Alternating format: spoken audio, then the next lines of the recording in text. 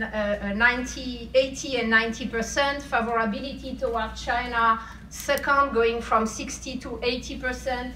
Favorability toward the US be between 50 and 60 percent, with a big gap after 2014.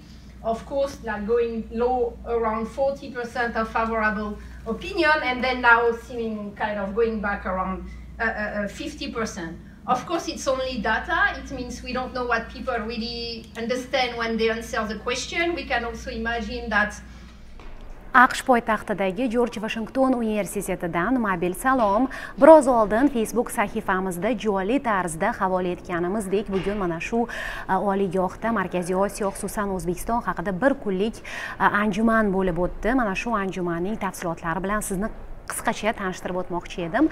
Avvalo o'zbekiston haqida gap ketdi. Xo'sh o'zbekistonda boshlangan islohotlar qanchalik real nimaga umid qilsa bo'ladi va nimaga hozircha umid qilmaslik kerak degan savolga javob izlandi va bu universitetning professori shon roberts o'zbekistonda davlat rahbari islohotlarga boshchilik qilayotgani shu paytgacha hech kim til tekizmagan qo'l tekizmagan muammolar ochiq oydin muhokama qilinayotgani milliy xavfsizlik e, xizmati adliya iqtisod haqida e, katta bir gaplar aytilayotgan va qarorlar qilinayotgan o'ziga xos o'zgarish va ma'lum o'zgarishlarga yangiliklarga umid qilsa bo'ladi dedi. Endi hozircha kutishga erta bo'lgan e, islohotlardan biri bu professor fikricha demokratik islohotlar. Ya'ni uning nazarida shon roberts e, nazarida o'zbekistonda hali beri o'sha tom ma'nodagi muxolifat bo'lmaydi oppozitsiya bo'lmaydi. Hukumat ham xalq ham balki bunga tayyor emas chunki omma fikri o'rganilganida o'sha siyosiy bugungi mavjud mentalitet tahlil qilinganida o'sha muxolifat degan tushunchaga nisbatan fikrlar hali ham salbiy degan gaplarni eshitdik va yana bir narsaga urg'u berildi. Ya'ni siyosiy ong o'sishi kerak mentalitet yondashuv o'zgarishi kerak. O'zbekistonda mana shunday bir siyosiy taraqqiyotga erishish uchun lekin bu degani bunday o'zgarish tomon harakat qilmaslik kerak degani ham emas.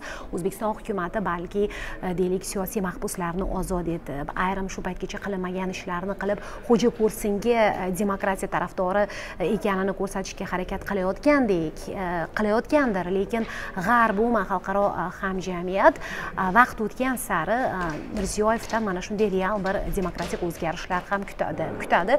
Juda bo'lmasa o'sha tomonga qarab harakat boshlanishi kerak degan gaplarni eshitdik va albatta ommaviy axborot vositalari erkinligi ularning mustaqilligi uchun yo'l ochilishi zaruriyati haqida ham gapirildi keyin yana bir qiziq fikrni aytdi shon roberts. Uning fikricha shavkat mirziyoyev boshchiligida o'zbekiston e, qozog'istonga o'xshashni e, xohlayapti. E, bu fikrga qarshilik bildirildi auditoriyadan. Ko'plab ekspertlar olimlar jurnalistlar bunday emas dedi lekin bir narsa tan olindi. Ya'ni o'zbekiston ham qozog'iston singari iqtisodiy taraqqiyotga urg'u bermoqchi va avvalo iqtisod iqtisodiy taraqqiyot keyin demokratik taraqqiyot qabilida ish olib bormoqchi. Lekin ko'plab mutaxassislar bu e, yondashuvni ma'qullamaydi chunki e, iqtisodiy o'zgarish iqtisodiy taraqqiyot albatta demokratik siyosiy e, taraqqiyotni ham e, talab qiladi. Ular bir biriga chambarchas bog'liq. Qozog'iston va turkmanistonda neft va gaz siyosati. Bugungi manzara ulardagi iqtisodiy ahvol ham e, tahlil qilindi va har ikkalasi ham bu sohada o'ziga xos krizisda deya ta'riflandi. Turkmaniston gazini sotib oladigan tomonlar bugun juda yam kamayib ketgan. Asosiy sherik xitoy va ashgabat pekin bilan ham bu borada kelisha olmay qolgan. Qozog'iston iqtisodiy iqtisodiyoti e, og'ir e, ahvolda va e, prezident nursulton nazarboyev deyarli har hafta xalqqa murojaat qilib iqtisodiy e, va'dalar bermoqda vaziyat yaxshilanadi degan bir e, gaplar e, aytmoqda. Shuncha yillardan keyin nisbatan bo'lsa ham o'ziga bir to'q yashagan xalq bugun o'ziga xos tushkunlikda sarosimada ertaga nima bo'lishini bilmaydi buning ustiga rahbar keksayib bormoqda undan keyin hokimiyatga kim keladi degan savol ko'plarning og'zida.